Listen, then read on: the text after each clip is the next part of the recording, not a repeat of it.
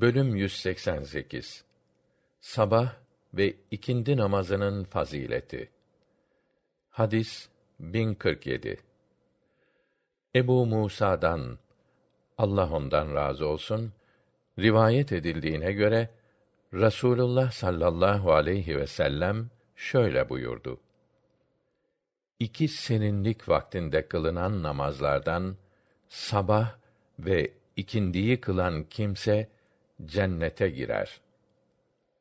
Hadis 1048 Ebu Züheyr Ümare İbni Rüveybe Allah ondan razı olsun Rasulullah sallallahu aleyhi ve sellemi şöyle buyururken işittiğini söyledi. Güneş doğmazdan ve batmazdan önce namaz kılan bir kimse cehenneme girmeyecektir. Yani sabah ve ikindi namazlarını. Hadis 1049 Cündüp İbni Süfyan'dan Allah ondan razı olsun rivayet edildiğine göre Rasulullah sallallahu aleyhi ve sellem şöyle buyurdu.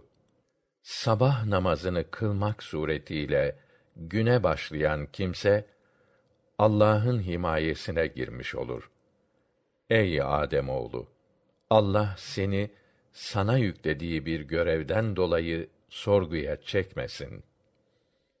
Hadis 1050 Ebu Hureyre'den Allah ondan razı olsun rivayet edildiğine göre Rasulullah sallallahu aleyhi ve sellem şöyle buyurmuştur. Bir kısım melekler geceliğin, bir kısmı da gündüz vakti birbirlerine nöbeti devrederek sizin aranızda bulunurlar.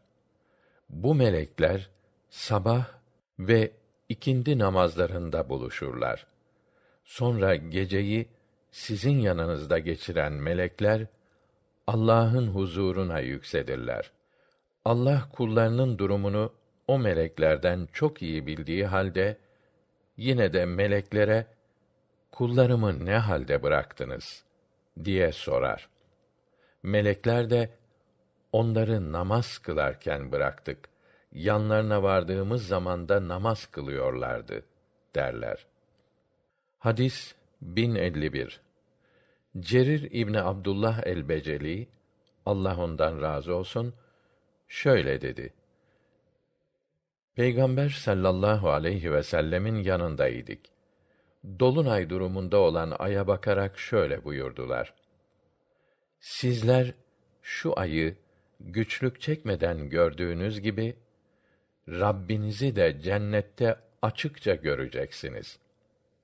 Güneş doğmadan ve batmadan önceki namazları kaçırmadan kılmayı başarabilirseniz kesinlikle kaçırmayıp kılınız. Buhari'nin diğer bir rivayetinde Rasulullah ayın on dördüncü gecesi aya bakmıştı denilmektedir. Hadis 1052 Büreyde'den Allah ondan razı olsun rivayet edildiğine göre Rasulullah sallallahu aleyhi ve sellem şöyle buyurdu. İkindi namazını terk eden kimsenin işlediği amelleri boşa gitmiş gibi olur.''